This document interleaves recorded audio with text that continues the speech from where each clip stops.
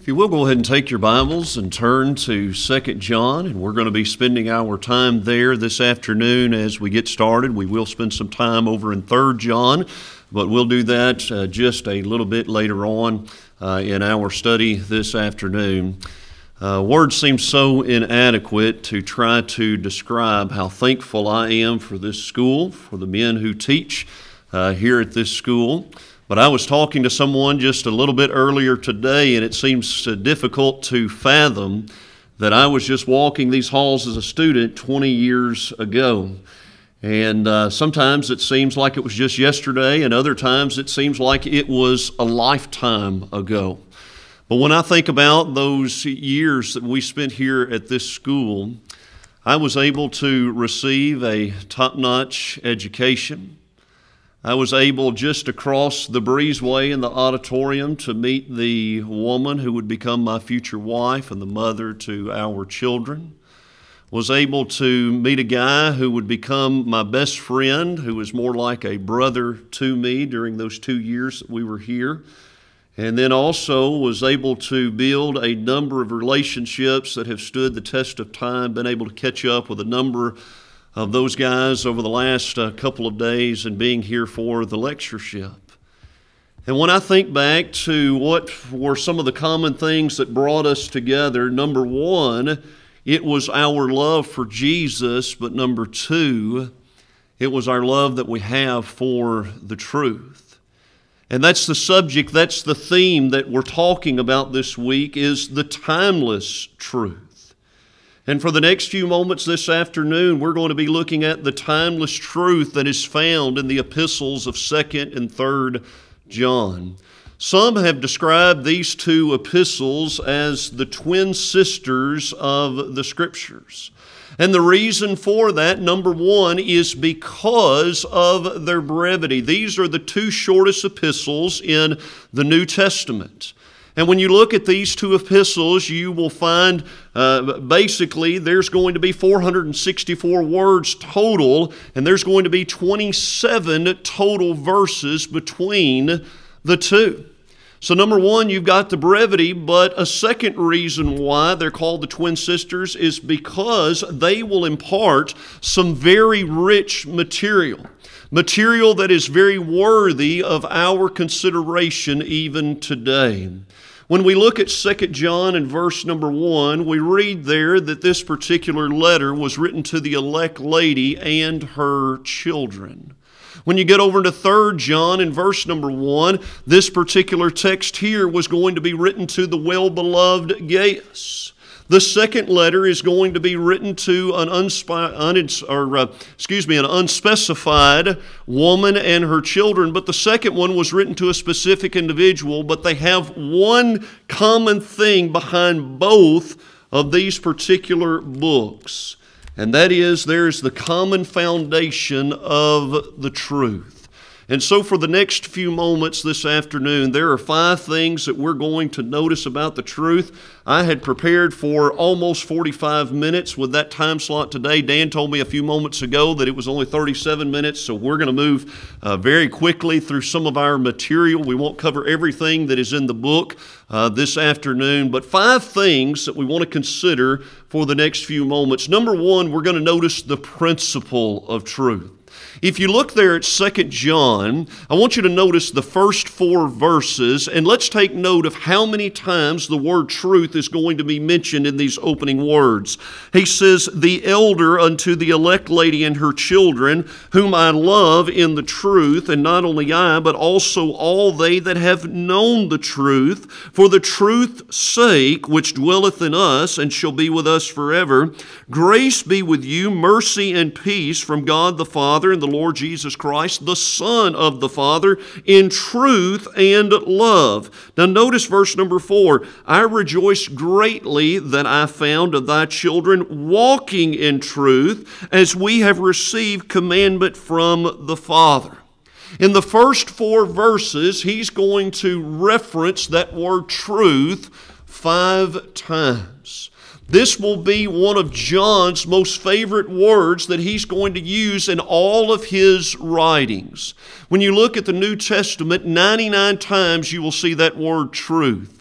John will make reference to it 45 of those 99 times, just a little under half. And when we think about John referring to the truth, especially here in the second epistle of John, three things that I want us to consider about the principle of truth. And the first one is this truth can be known.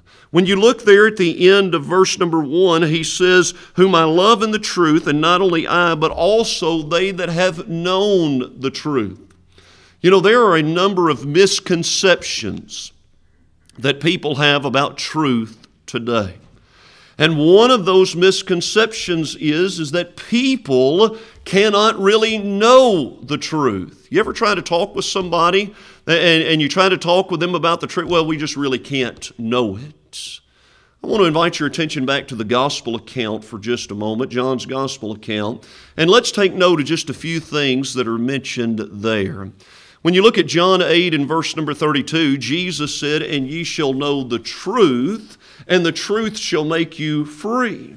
If you go back just a few verses to verse number 24, Jesus told th- those religious people there, those Jews, that if you don't believe that I am He, you're going to die in your sins. In John 17 and verse number 17, Jesus is there. He's praying that prayer about unity. You remember what he prays? He says, Sanctify them through thy truth. Thy word is truth. How could they be sanctified? How could they be set apart from sin? How could they be set apart for a special purpose if they didn't know what the truth was? But then you look at John 14 and verse number 6, Jesus said, I am the way, the truth, and the life, and no man comes to the Father but by me. You see, our Lord was the embodiment of truth.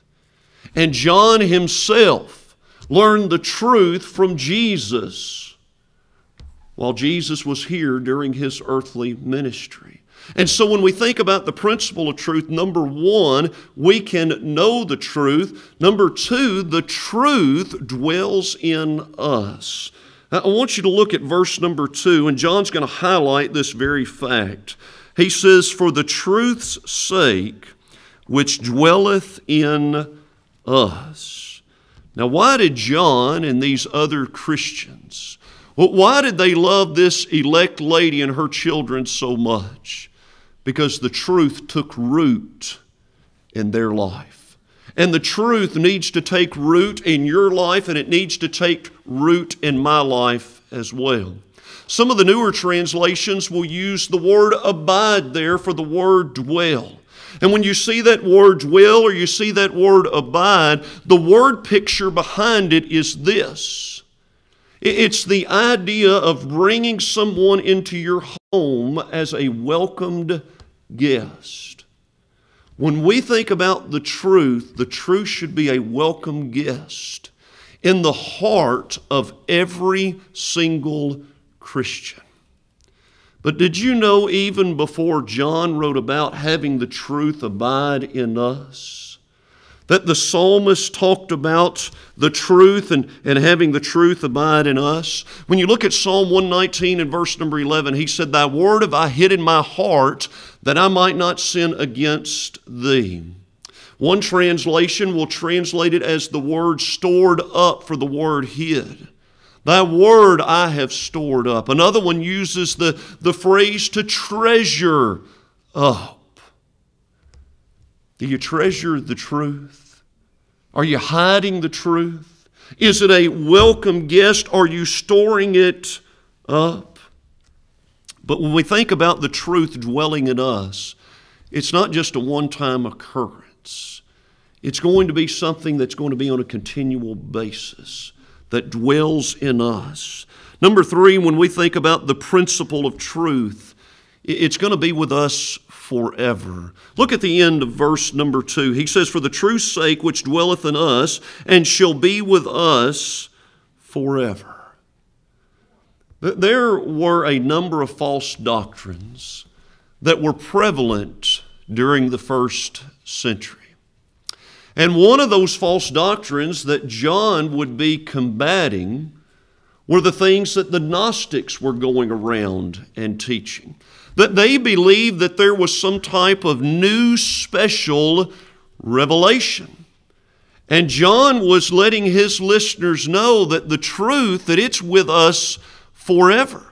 I like what Gareth Reese, commentator, had to say on this particular passage. He says, Truth is not going to change. What the apostles taught was truth, and no Gnostic could ever change it or add to it. You see, the truth that the apostles taught at the earlier part of the first century was the same truth that was being taught at the end of the first century, and it's the same truth that is supposed to be taught today in the 21st century.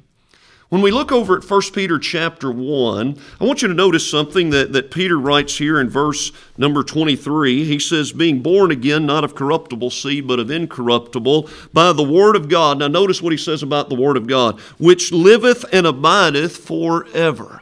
Verse number 23 talks about the permanent side, but then he's going to make a contrast. He says, For all flesh is as grass. He's talking about our earthly bodies. All flesh is as grass. Now, notice what he says next and all the glory of man as the flower of grass. The grass withereth, and the flower thereof falleth away. If you look outside right now, depending on what kind of grass that you've got, if you were to come down to my house in, in Hernando, that grass is still brown right now. We've got Bermuda grass, and grass really isn't going to start growing until it gets a little bit warmer. And when it gets over 90 degrees, that grass loves the heat, and it's going to be that beautiful green color.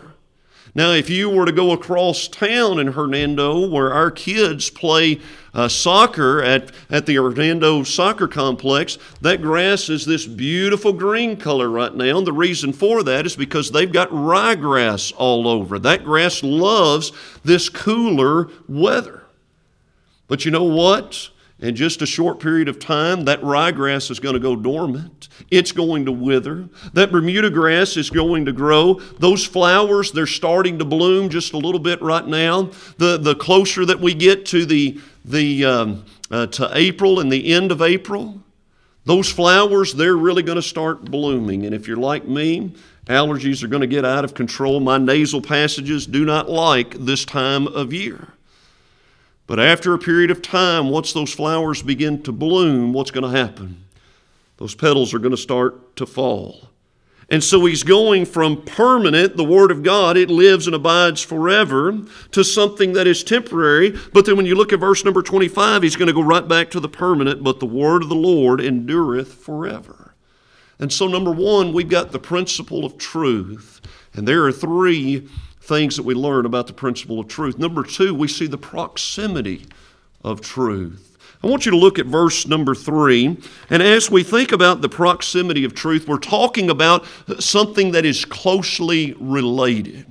And let's see if we can take note of three things in particular that are closely related to truth here in this verse. He says, Grace be with you, mercy and peace from God the Father and from the Lord Jesus Christ, the Son of the Father in truth and love.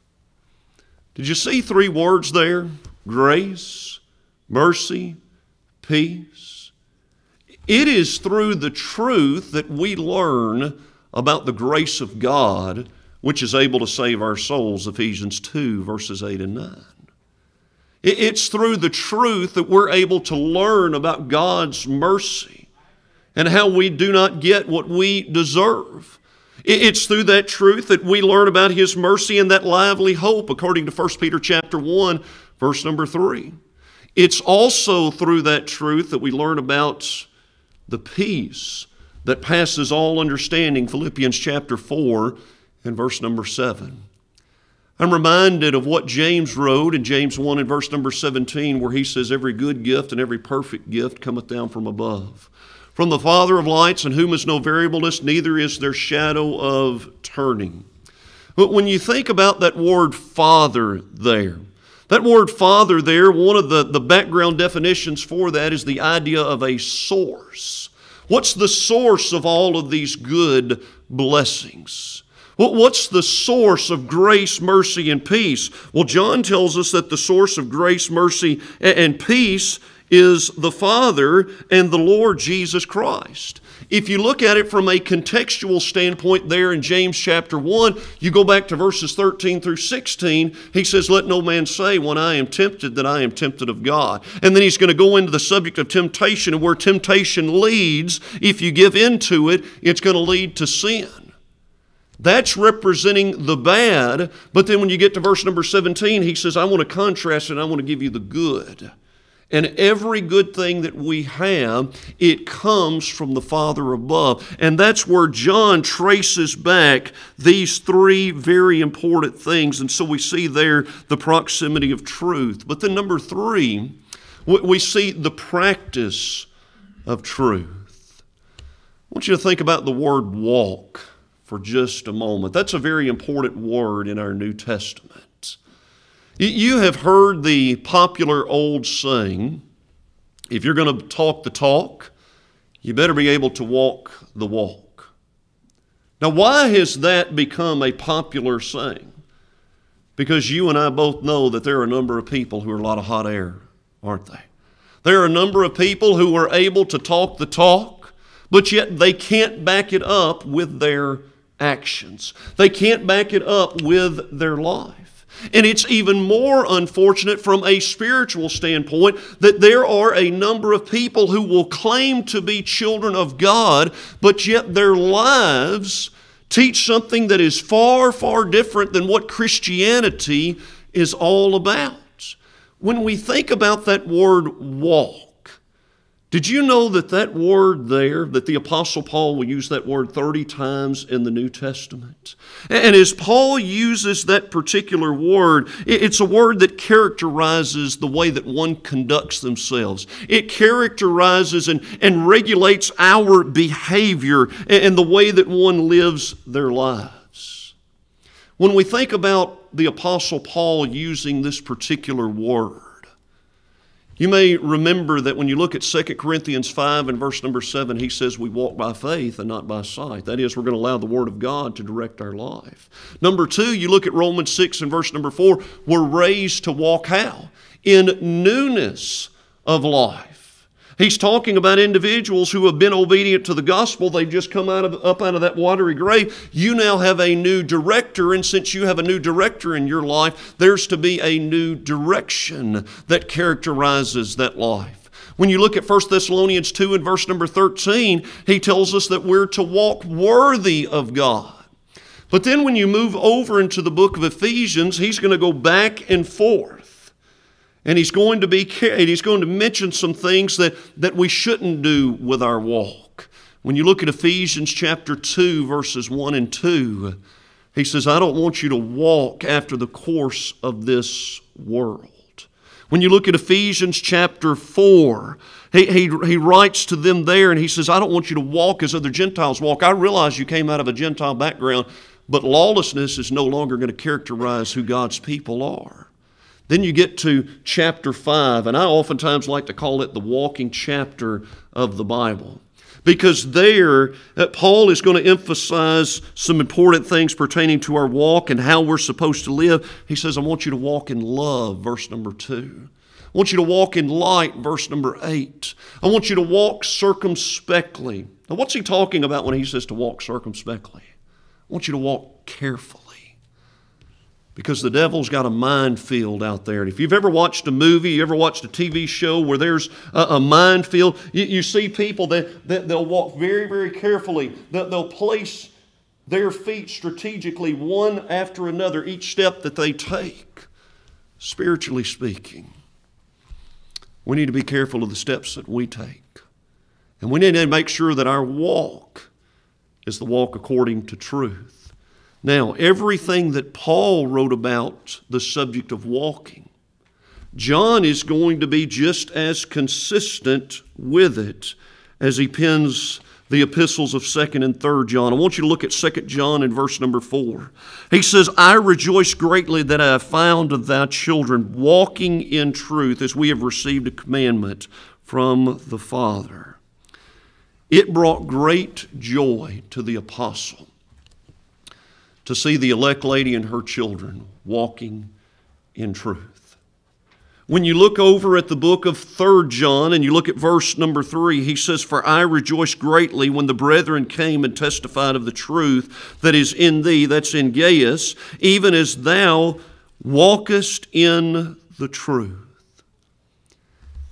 How does a parent respond the very first time that they see one of their children walk?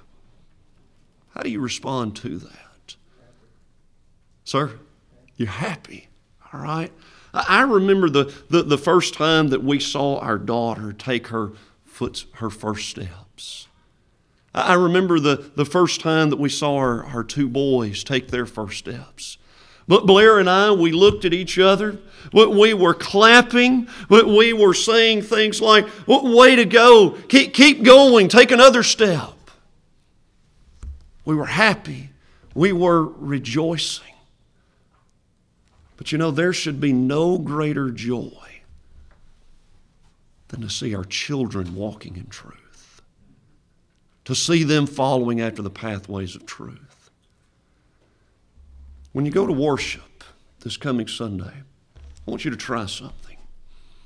When you go in and you sit down, I want you to look around the room for just a moment. When you look around the room, I see some teenagers that are walking in truth.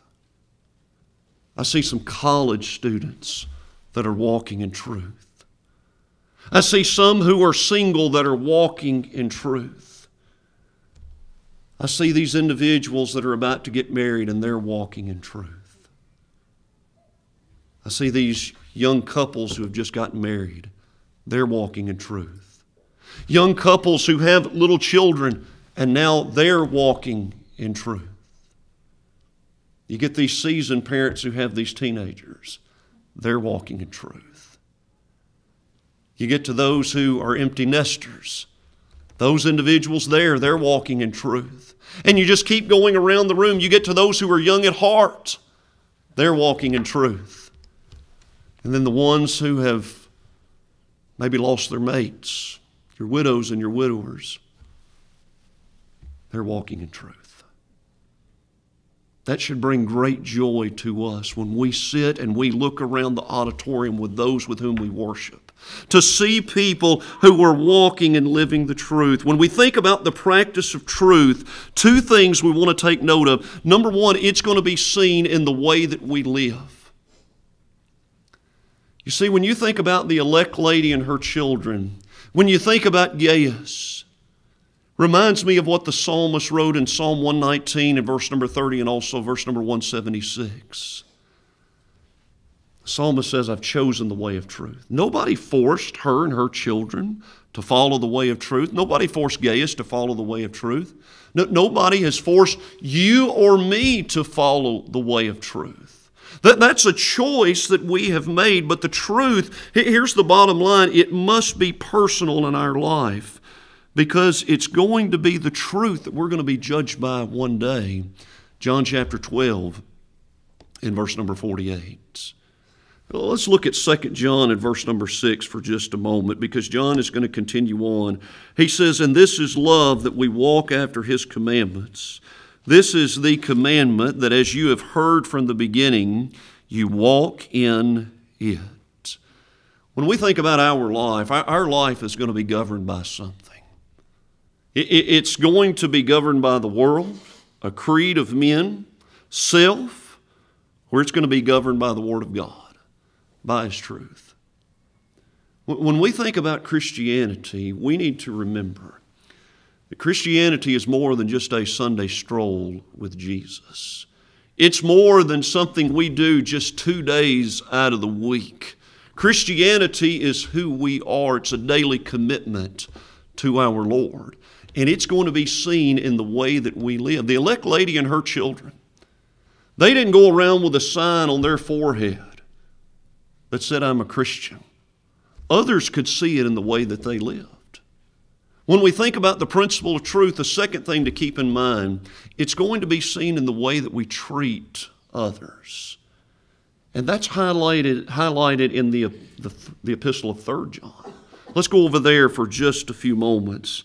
And there are three individuals that serve as prime examples uh, of how we treat others, or at least how we're supposed to and how we're not supposed to treat others. The first one there is the one to whom the letter was written, verse number one, to the well beloved Gaius. But how did Gaius treat others? I want you to drop down to verse number six. He says, Which have borne witness of thy charity.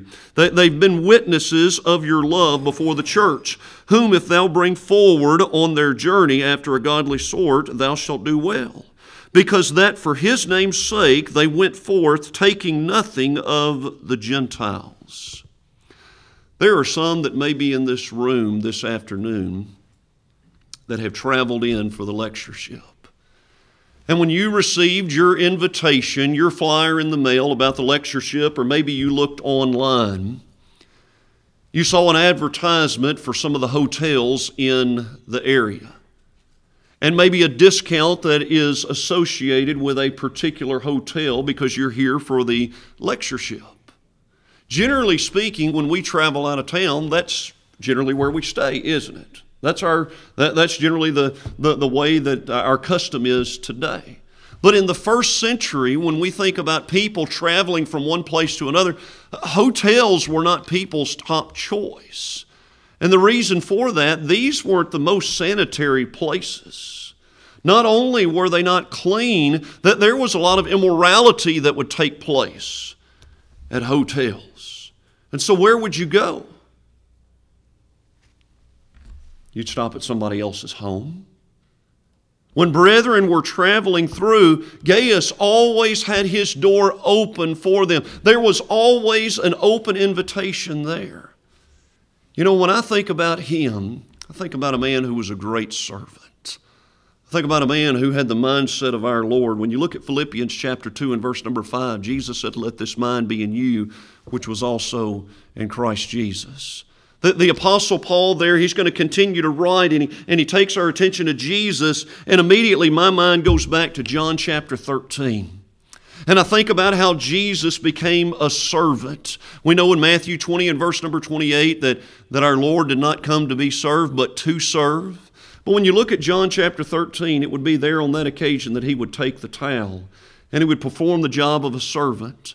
But if you look at the beginning of that text and at the end of that text, What's the subject that he talks about? Subject of love. Those serve as the bookends of that text.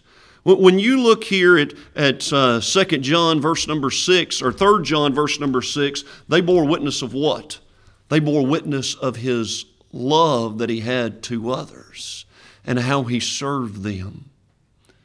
Gaius was his name, but hospitality was his game and he's forever remembered as a man who was hospitable to others. When we think about the subject of hospitality, hospitality is something that, that Christians are to be known for as well. When you look at Romans chapter 12 and verse number 13, he tells us we're to be people who are given to hospitality. When you look over at the book of Titus, one of the qualifications for an individual to serve as an elder, these are individuals who are supposed to be hospitable. And so we're to follow in his footsteps. But then there's a second man that we're introduced here to in the book of Third John, and that is the man known as Diotrephes. I want you to look at Third John, verse number 9. He said, I wrote unto the church, but Diotrephes, who loveth to have the preeminence among them, receiveth us not. We go from a man who loved the truth and loved others to a man who loved self, a man who got in the way of the truth. When we think about this particular name, Diotrephes, we really don't hear too many parents naming their children Diotrephes today, do we? And a lot of times it's because of the negative connotations that go with it. And when we think about that today in the 21st century, there are some individuals who have a Diotrephes complex to them. And unfortunately, a lot of times it's in the eldership position. You see, Diotrephes, he felt like he was the top dog in the kennel, that everything had to run through him, that it was he, he was the one who had to have the final say so.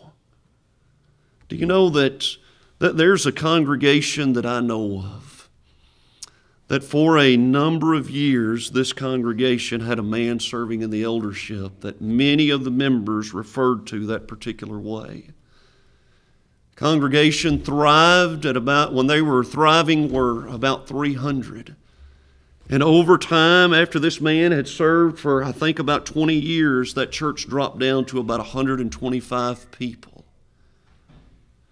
Do you know when that man stepped down, that in less than five years, that church went back to 250? All because that man got out of the way. They felt as if it was a breath of fresh air for the congregation. They didn't have somebody controlling everything, single thing that was going on. I remember, I guess it was about 18 or 19 years ago now, that I was interviewing at a congregation to be their youth minister. The congregation had about 500 people. I remember sitting with this eldership, and there were 10 elders. We had three different meetings with them before we had a scheduled tryout. And I remember a laundry list of questions that, that they had asked that we turn in and submit to them ahead of time. And then we had hour long meetings each time that we would meet with them in person. They would ask questions, and then I would ask questions back to them. And I started to notice over and over and over again that when I would ask a question, they would all turn their attention to one particular brother in that room. The final day that we had a meeting with those elders, I met with the pulpit minister about 30 minutes ahead of time. We were sitting down discussing some things, and I told him, I said, I noticed that you've been here for about 10 years. I said, I'm looking to put some roots down and to be at a place for several years. And I said, Do you plan on continuing to stay a little bit longer? And he told me, he said, My son's going to be a senior in high school next year. And he said, After that, he said, That's going to be it. And he said, I'm going to plan to move on somewhere else. That was red flag number one. Number two, I asked him, I said, I said, um, Is there a Diotrephes in the eldership? And he looked at me and he said, Why do you ask? And I mentioned just a couple of things that I had seen. And he smiled. He wouldn't say anything, he just smiled and that was enough for me. I didn't want to be a part of something like that, and you could tell it was stifling some of the things with the church. Now, how did Diotrephes how did he demonstrate preeminence? When you look at the end of verse number 9, he received us not, he resisted the apostles. Verse number 10, wherefore if I come, I will remember his deeds which he doeth, prating against us with malicious words, and not content therewith. Neither doth he himself receive the brethren, and forbiddeth them that would, and casteth them out of the church. He was critical of them. He isolated himself from others. He was very controlling. Now, how are we supposed to respond? How was the elect lady and her children supposed to respond, being placed in that, or Rather, being placed in that particular situation. Look at verse number 11. He says, Beloved, follow not that which is evil, but that which is good. He that doeth good is of God, but he that doeth evil hath not seen God. The, the final man that we read about here is a man by the name of Demetrius in verse number 12. He hath a good report of all men, and of the truth itself, yea, and we also bear record, and you know that our record is true. Demetrius was a man worthy of imitation, but why? Because all the brethren vouched for him. Number two, he also had the stamp of approval from an apostle. But let's think about ourselves for just a moment. Who do we find ourselves like? Do we see more of Gaius? Do we see more of Demetrius? Or do we see a Diotrephes? We're the only ones that can truly answer that question. Who do we see, and which ones should we be like? Here's point number four to consider, and that is the prohibiting of truth. It is unfortunate that not everything is taught is going to be the truth. That's true today in the 21st century, and it was just as true in the first century. We know that the Apostle Paul warned about false teachers in his writings. We know that from Ephesians chapter 4 and verse number 4, one of the warnings that he gave was to be not tossed to and fro by every wind of doctrine. He wanted those brethren to be careful. He met with those elders at Ephesus in the city of Miletus. And he made sure that they were aware that grievous wolves would enter in, not sparing the flock.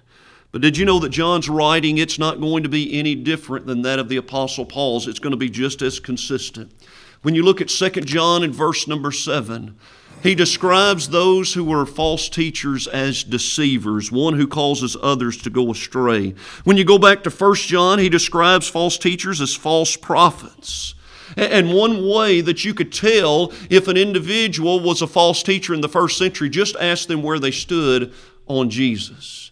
Do you believe that Jesus came in the flesh? John, right out of the gate in 1 John 1 and verse number 1, he says, We've heard him, we've seen him, we've looked upon him, we've touched him. He wanted his readers to know exactly where he stood and where they were supposed to stand. If one denied Jesus, he was referred to as an antichrist. Now, how are we to respond today to false teachers?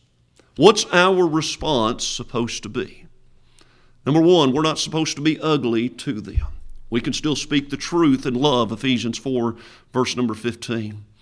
But number two, I want you to notice here what what John writes. If you look at verse number 10 of 2 John, he says, If there come any unto you and bring not this doctrine, receive him not into your house, neither bid him Godspeed. For he that biddeth him Godspeed is a partaker of his evil deeds. When we think about false doctrine, false doctrine has always been a serious problem with God. And he wanted to make sure the elect lady and her children knew exactly what to do with false teachers. Don't accept that. Don't wish them farewell. Don't wish them good luck. Do not receive them into your home. You can still be kind to them, but you're not going to be a participator in the things with which they are doing.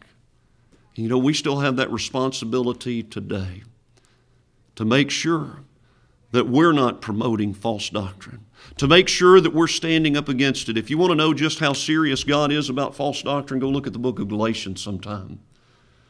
Because when you think about Paul's writings, most often when he would start a book, he would write about some of the good things about the congregation. He would commend those brethren. And then he would start challenging them with some things that they need to, to correct. You look at the book of Galatians right out of the gate, he's going to deal with the problems. You've been deceived. Because you've been deceived, we've got some things we got to deal with, and we got to deal with it very quickly. That's why elders have been given the responsibility of rebuking the gainsayers, to do it in such a way that still brings glory and honor to God. Very quickly, our final point, and that is the prize of truth. If we stay with the truth, we're going to be rewarded one day. I want you to look at 2 John verses 8 and 9. He says, Look to yourselves. Paul would say, Examine yourselves, 2 Corinthians 13 5. He says that we lose not those things which we have wrought, those things that we work for, but that we receive a full reward. Whosoever transgresseth, the American Standard says, going onward there for the word transgresseth. Another translation will use it, will translate it as running ahead. Whosoever runs ahead or goes onward and abides not in the doctrine of Christ hath not God. He that abideth not in the doctrine of Christ, he hath both the Father and the Son. So we don't abide with him, don't abide with the truth, we don't have God. If we do abide, and we continue to abide, you notice the ETH on the end of the word? It's going to be a continual action. You know what's going to happen? We're going to receive a full reward one day. If you look at Revelation 22, verses 18 and 19, John is the writer there, and he's got one final warning, and that is you don't add to the truth and you don't take away from it. When we think about the truth from 2nd and 3rd John, we're looking at what has often been called the twin epistles. Number one, because of their brevity, but number two, because of the rich content that is imparted in such a short span and the focus that's upon truth. And this afternoon, we talked about the principle, the proximity, the practice, the prohibiting, and the prize of truth. It is my prayer that every single person that is in this room and those who may be listening to this lecture online and listening into it in the future, that you hear the words of our Lord. Well done, thou good and faithful servant, Matthew 25, 21. But the only way we're going to hear those words, we've got to be individuals who practice the truth. And we've got to live it out in our life every single day. Thank you so much.